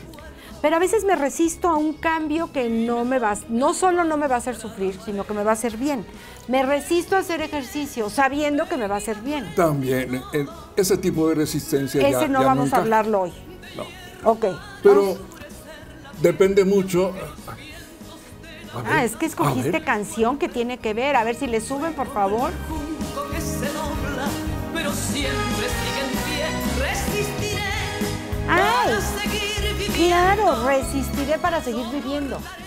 Claro. Pero es El algo asunto que me molesta. ¿Perdón? ¿Es algo que me molesta? No, resistiré. Tendré la fuerza para superar. Ok. Es- Ya esa es la, la connotación. Tendré la fuerza pese a todos los pesares. En el caso de Estela Raval, que en algún tiempo de la vida de un grupo argentino que se llamó Los Cinco Latinos, ella era la, la primera voz, Sí. era una jovencitita y hacían los covers en español, siendo argentinos ellos, de algunos hits que de- llegaban de Estados Unidos. Eso los hizo populares. Pasa el tiempo, el tiempo, el tiempo, el tiempo, el tiempo, la señora se hace mayor, eh, no tan mayor como yo, pero más o menos. Pero un poquito. Pero sí, eh, Poquito. una rayita. Y sufre cáncer. Ajá. está a punto de morir de cáncer. Y ocurre que su mentalidad, su espiritualidad, como le quieras llamar, o todo junto, le dice, aguanta, La vida sigue siendo hermosa. Aguanta. Supera la cuestión de ¿La enfermedad? de- de la enfermedad. No quiere decir que no, que no esté propensa todavía a alguna cosa, pero el hecho es que resiste y toma la fuerza necesaria para vivir su vida plenamente. ¿Y qué letra, no? Resistiré para seguir viviendo. Desde luego, si la pudiéramos escuchar palabra por palabra, Sí, está ¿nos pueden, nos pueden repetir desde el inicio, por favor? ¿Se- Porque se tú puede? la puedes, eh, la puedes cantar o la puedes escuchar sin ponerle atención al sentido de la canción. Exacto, pero si le Y está ponemos fuertísima. atención, A ver, vamos a nos escucharla. regalan, nos regalan Ahí una está. repetición, ¿sí? Correcto, correcto. La letra. Ahí vamos con la letra y todos hemos Cuando pasado. pierda todas las partidas, cuando duerma con la soledad, cuando se me cierren las salidas y la noche no me deje en paz, cuando sienta miedo del silencio. Fíjate cuánto. Cuando cueste mantenerse en pie, cuando se revelen los recuerdos y me pongan contra la pared, resistiré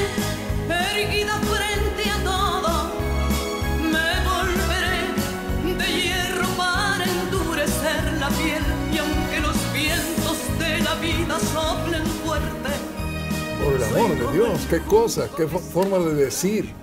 Y yo creo que la mayoría de nosotros hemos estado en momentos, esos momentos terribles que crees que no hay salida, que se te Así cerraron es. todas las puertas y que hay una fuerza interior, una vocecita, no sé si es Pepe Grillo, la conciencia o de dónde sacamos esa fuerza para decir, Tus tengo ganas que seguirle, Tus no me puedo vencer, no puedo tirar la toalla y pues me parece que en, en estos momentos si hay alguien que está pasando por un momento duro, les platicaba al inicio del programa de, bueno, tantos programas de salud que hay, tantos programas de cáncer de mama, que es lo que pasó a esta mujer, que si están pasando por un momento así, resistan, resistan Es y correcto. saquen esa fuerza. Sea problema de salud, sea problema económico, sea problema eh, de pareja, si estás atravesando por un duelo, por un divorcio, por, por lo que estés pasando, resistan No y te des por vas vencido. para adelante. No te des por vencido nunca. Para Ni aún vencido. Para tomar fuerza solamente, para tomar vuelo. Nada más tantito Nomás para... tantito tomas vuelo y, y a Yo creo que en, eso implica el- la dignidad humana y las ganas de vivir. Es poderosa Claro, esa sensación. porque pese a lo que pese, vivir es bonito. Vivir es una maravilla. Sí, sí. Y se nos va tan rápido la vida. Somos un instante en este universo que lo que estemos aquí, pues hay que vivirlo bien y con bueno, ganas. hasta la palabra vida es cortita. Hasta la palabra, sí, rapidísimo se nos va en cuatro letras y se nos va en un suspiro la vida. Así es que lo que tengamos de vida, que sea con fuerza, que dejemos pues esa huella de, de alegría, de, de sí pudo, de siempre le echó ganas, Resistiré, de resistiré. echado para adelante. Es una Cuando me vaya fuerte. del cocol, cuando me rompa la rodilla, cuando... ¿Cómo está la rodilla? ¿Todo bien? Da la rodilla todo bien, Ah, ya, ya, perfecto. ya, ya quedó Entonces- lista para la otra caída. No, no es cierto, no camine con el celular. Pues no, ¿verdad? Ya no. ya no. Pero sí, este, hay que resistir. ¿Qué se mamoló la rodilla? Pues hay que resistir. Que tienes un dolor físico, mental, emocional. Hay que resistir. Hay que resistir. Eso se transforma en, la palabra sé valiente. Sí. Y La hay que hacer lo que se exige tiene que hacer. No resistir pasivo de, bueno, pues aquí estoy resistiendo la adversidad. No. No, no, no, Resiste, no. pero ¿qué no tengo es lo que hacer? mismo, No es lo mismo ser valiente que ser Hacer- consecuente, que ser... eh, Ay, yo pensé que iba a decir que otra ya, cosa. Que ya, que ya ni modo. Sí. No, no, ya Esto ni me modo. tocó, ya ni Como hablar. dijo el, el que vendía mangos, ¿Qué? ¿Qué dijo? Pues mangos. Ah, mango. ¿Y yo qué dijo el que vendía mangos? Mangos, exactamente, con valentía, resistiendo con inteligencia, buscando las mejores opciones. Si es un asunto de enfermedad, buscando médicos, buscando hacer lo que se tiene que hacer. José Luis, qué buen tema. Yo dije, ¿de qué vas a hablar? ¿Qué onda con resistir? ¿Y qué es esto? es que Me gustó. Todos los días tenemos que estar en esa situación. Todos los días. Fíjate que tú te vamos a cambiar la sección. Músico, poeta y loco se llama tu sección, pero, pero te has vuelto muy filósofo últimamente. Medio filosofito. Medio fi- no, muy filósofo. Gracias, José Luis Almada. Un gusto, como siempre. Un placer que estés aquí en el programa. Y nosotros vamos a Viralízate. Abraham González ya llegó.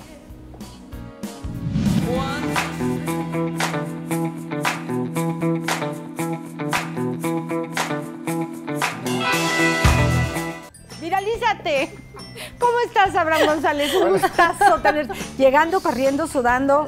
Bien. ¿Calor? Bien. Está ¿Cómo bien va el calor? ¿Bien? No, fíjate que hoy amaneció. ¿Verdad que siento- raro? Pero Ay, rico. rico. Raro, rico. Sí, el friecito rico, el airecito Es fresco. que está nublado y eso se agradece. Sí, sigue así porque hemos Sigue. estado dos horas aquí adentro del foro. Entonces sí. afuera sigue amaneció igual. muy nublado, ¿verdad? Sí. Que fue el comentario de hoy. ¿Qué le pasó al sol?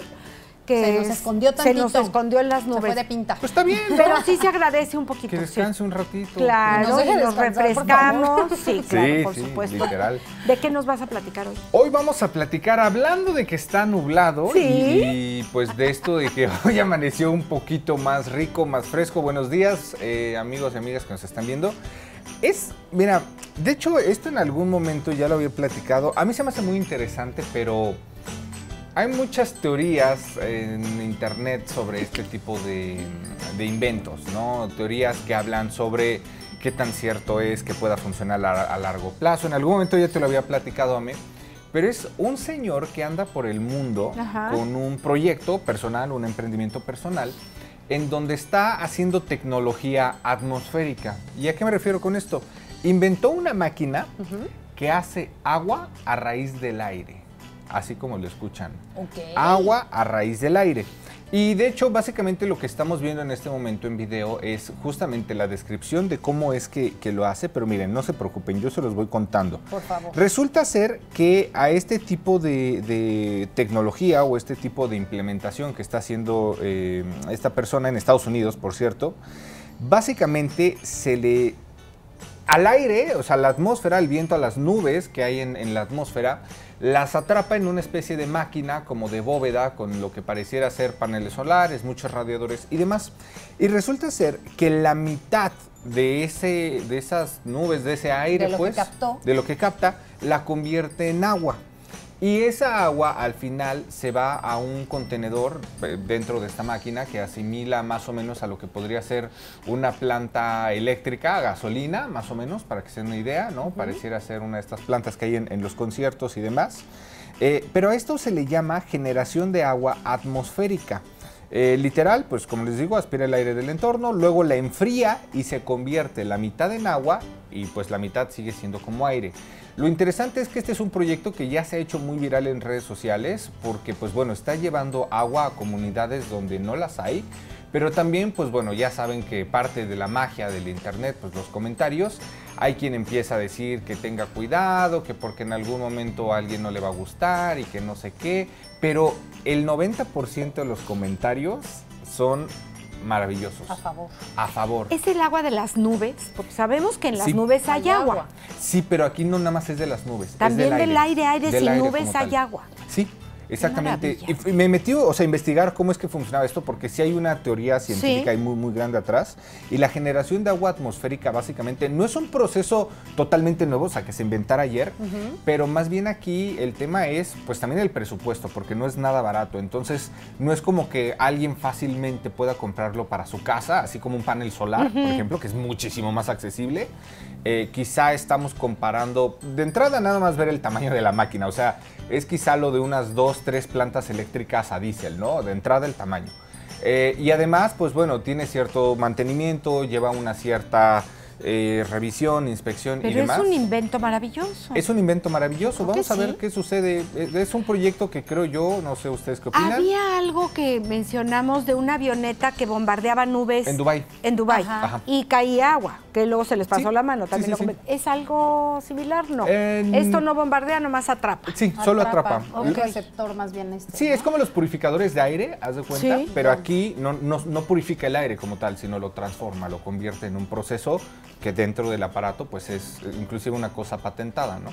No, y que al Qué final del día bueno. ahorita lo estás diciendo, está llevando agua a comunidades donde no hay. obviamente, gratuitamente. De manera natural. Y qué bueno que hay personas que lo saben hacer, que son creativos, no sé, ingenieros o qué profesión tenga, pero que estén preocupados y ocupados, porque todos estamos preocupados, Claro. pero no todos sabemos qué hacer, pero hay gente que sí sabe qué hacer para tener más agua. Sí. Porque es un problema de todo el planeta Tierra, Y sobre todo lugares donde es difícil, ¿no? O sea, vaya. de ciertos lugares donde no llueve. Sí, está habitualmente. canijo, está canijo. Pero el que está canijo y este ¿Quién sí, fíjense nada más. Si les gustan los conciertos, les gustan los Sí. conciertos, ¿no? De música. La música electrónica, No mucho, pero pues haz Eh. de cuenta de que puedo ir. Ok. Podemos A mí ir. Si me me invitas, pueden, sí voy, ¿eh? a mí No me te pueden platicar. Te platicamos. Sí. Pues mira, te vamos platicando Sí. que el siguiente video que estamos a punto de ver es un video también que se hizo muy viral porque es del DJ llamado Michael Cantiog, es un DJ eh, francés, pues dio un concierto en la Catedral de Laon, eh, allá en, en Francia. Pero usó esta catedral como ¡Qué parte del escenario del concierto. Eh, se parece, pues, hay Videomapping, algún- ¿no? Es lo que está Hace haciendo, videomapping en la catedral. Hay quienes dicen que es como una versión muy pequeña de Notre Dame y, demás. Pero básicamente todo su concierto lo hizo a través de la catedral con videomapping. Obviamente la catedral cambia de formas, de colores, te transporta de repente el cielo. O sea, ahí está la catedral. Esa es la catedral. O sea, esa sí le voy a creer. Ahí está y le Sí. están pintando. Es correcto. Porque luego Sí. está ahí y no está. Como que el- No, parece sí que está. está. Esa sí está. Esa sí gracias. está y nomás le pusieron ahí un videíto lumi- para que Luminosidad y ya quedó. Sí, es un video, eh, se le llama videomapping, básicamente es como los proyectores, Sí. ¿no? Donde das clases, Que se ¿no? proyecta en la catedral. Exactamente, se escanea la estructura arquitectónica y a través de un proyector especial y algunos efectos de rayo láser, de rayo láser y otra cosa No, como hombre. los monstruos, ¿sí? Sí. Este, pues hacen este tipo de, de espectáculos, ¿no? Sí. Impresionantes y ha dado la vuelta al mundo porque es la primera vez que se usa un monumento, por así decirlo, católico, ¿no? Eh, para un- una finalidad de entretenimiento como la que este DJ pues hizo. Porque aparte la iluminación sí es el video mapping, pero también hay iluminación que sale de la catedral, por lo que se ve. O sea, que debieron haber puesto eh, pues O esos sea, poquitos, esas... No nada Sí. más lo iluminan de afuera hacia de afuera adentro, hacia sino que de adentro hacia de afuera. la. Entonces, Sí. Pues se ve padrísimo. Se ¿eh? ve Exactamente. Esto lo hemos visto no con monumentos de esta índole, más con pirámides. Ya es mucho moda, los DJs, no sé qué, en Teotihuacán o en alguna zona arqueológica, pero hablando de monumentos así. Y en centros históricos alguna vez vi de algún También. país, vi el video, Sí. como en los monumentos históricos, en, en el centro, digamos, de esa ciudad, pasaban como una obra de teatro que tú veías los monumentos y ahí estaba representada, que dices, ¿cómo, cómo le hacen esto? Justo. Pues de hecho aquí en el centro de Querétaro hubo en algún pasa. momento Sí. en Navidad, no recuerdo en qué Algo año, hicieron, hicieron sí. videomapping en una de las estructuras y estaba padrísimo. Y se ve padre. padrísimo. En Dolores Hidalgo, cuando vas al. Bueno, la última vez que fui al Grito, quizá 2018, la, ca- la iglesia de Dolores, justo, también tenían videomapping. Pero hay quien se pone pilas. Los que no se ponen pilas es el video con el que empezamos la semana de nuestra primera chamba. Híjole, ¿Qué ahora que hace. Fíjense, chicas, A ahora ver. que está haciendo calor, pues Sí. todos queremos un ventiladorcillo a la mano, algo que Claro, nos eche la mano. A mí se me olvidó el mío portátil y hoy era urgente. Pues resulta ser que para que no se te olvide, aquí estamos viendo en el video en pantallas un cuate que está contando fajos gordos de billetes de mil dólares. Ajá. Está haciendo sus cuentas, está en la mesa, tiene muchos fajos acomodados bien bonito, pero dice, ay, como que ya me dio calor, mueve su No, bueno, ventilador. bueno, Mi primera no chamba. quiero. Ya saben lo que va a pasar, mueve el ventilador chamba y se lleva los billetes con la ventana abierta. Se lleva todos los billetes con la No, ventana una persona abierta. así no debe estar contando dinero de 100 dólares, billetes Pero de tenía 100. calor a mí. Pe- Pero ay, por el amor de Dios. Bueno, a ver, de inicio, si vas a poner el ventilador, normalmente cierras la ventana, ¿no? Porque si A no ver, se te va a ir el ¿no aire. está actuado? No, no, no, no, no, está- no, hombre, no está todo. No, o sea, sí se le. Pobre ¿Y quién lo señor. está grabando? No le subió agua al tinaco. Es la cámara de seguridad. Es la ¿no? cámara de seguridad. Ah, no, no, no le subió agua al tinaco, pero nada. Pues es que Nada. necesitaba Tinaco tiene. aire para que le funcione. Pobre señor.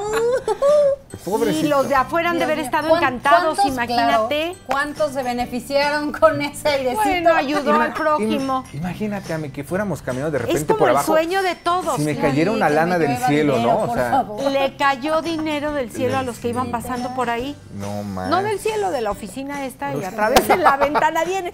Como, ¿te- ¿Se acuerdan que había un concurso que te metían en una... sí. Ah, sí, sí, y claro, te una dejaban aire, sí, Sí. y soltaban dinero. Bueno, era la ilusión de Ah, todo mundo, ¿no? Sí, sí, sí. A mí Sí. me tocó, pues no con dinero, pues, eran como unos en Kitsania. Me Pues en tocó con unos. También lo tienen para los festejados, te metes ahí Ah, a agarrar los ticketcitos. Acabo de ir al cumpleaños de mi sobrino Ay, y yo me sentí que eran millones de dólares encima. Luego hay y que eran ir. tickets nada más Luego para ver cuántos Para seguir jugando.